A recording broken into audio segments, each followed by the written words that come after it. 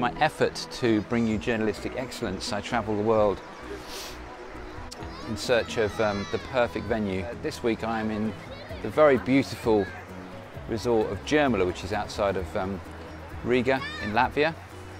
The question has come up a lot about how do we talk about Bowen in a way that doesn't make claims and doesn't talk about um, certain specific outcomes. I think it's an interesting, an interesting subject. There's a difference between making claims and, uh, um, and giving information. And the first thing I would always want to say is that you want to be truthful in relation to how you see it without necessarily promising anybody anything. Um, and there's two ways of doing this, both verbally and in writing, and I think uh, the two are, are worth a, a, distinction. Firstly, anybody that's saying to you, what is Bowen, is generally saying in their primary motivation, what's in it for me? Why, why would I want to be um, asking you about Bowen? And, and you can establish clearly whether somebody is asking you from a perspective of self-interest or whether they're asking you from the perspective of challenging you. I would strongly advise you to be one of those people that never get into an argument or a debate about the merits of complementary medicine or fascia or anything else unless you really have some facts at your fingertips and um, unless you really know your stuff.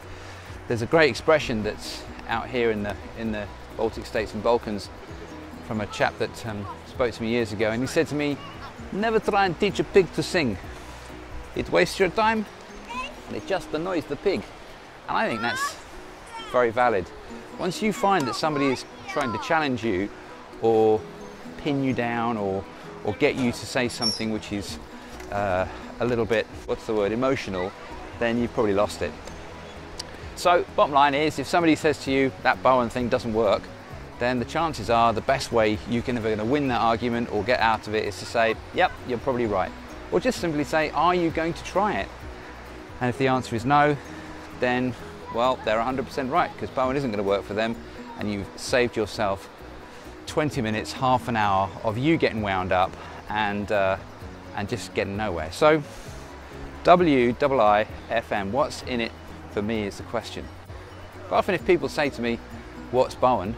It may be that they're asking from the perspective of they have a problem. So have a little look at them, find out what, what, have they, what are they carrying around with them? What can you see that is fairly obvious?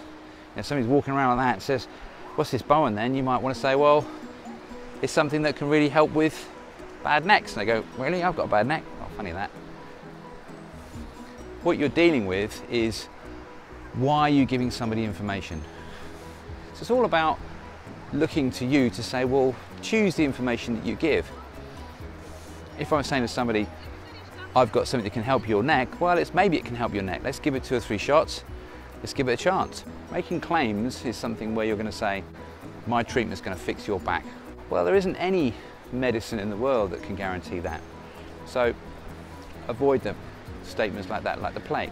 Even a surgeon isn't going to say to you, yep, I'm going to give you a knee replacement and it'll be as good as new afterwards. And if they are, then they're a fool.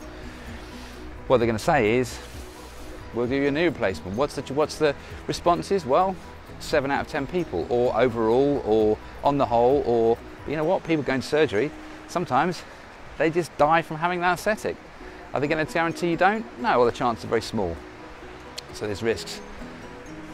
Speak from your experience rather than speaking from a truth as such, and you won't go far wrong.